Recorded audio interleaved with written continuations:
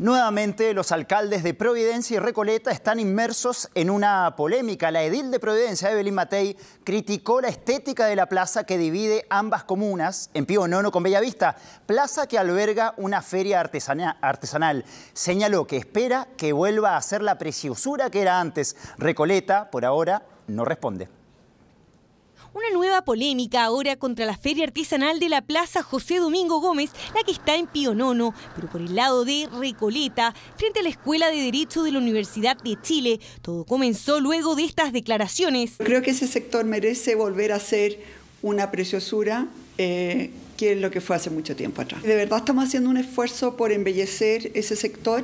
Un recado dirigido al alcalde de Recoleta, Daniel Jadwe, una plaza que ha estado en conflicto permanente entre los municipios y la universidad. La fachada de esta última será restaurada por Providencia para preservar el patrimonio, a diferencia de la plaza que pertenece a Recoleta. La plaza al frente, horrorosa, es algo impresentable. Una reja con una jaula que se dice que se vende artesanía, ¿eh?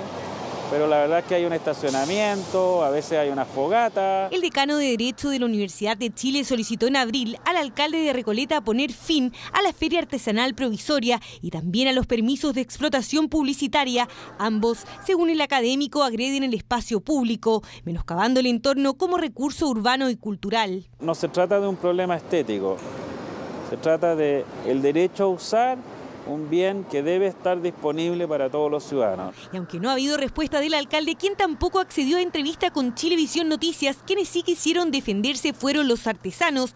Llevan más de 20 años trabajando en el lugar.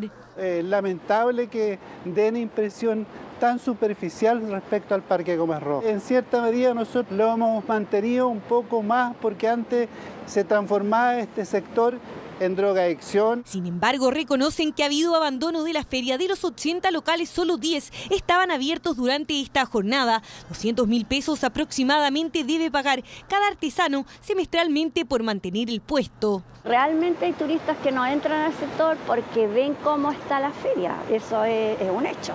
A feo la feria. Me gustaría un apoyo al alcalde que viniera aquí a apoyarlo o nosotros mismos ayudarlo entre todos. Uh, just like from the outside, it's a bit ugly. es que es feo, es feo. ¿No, ¿Les da ganas de entrar? Yo voy acá. No es muy bien catalogado, aparte que está cerrado. Esta es como la parte mala y Providencia allá es la parte buena.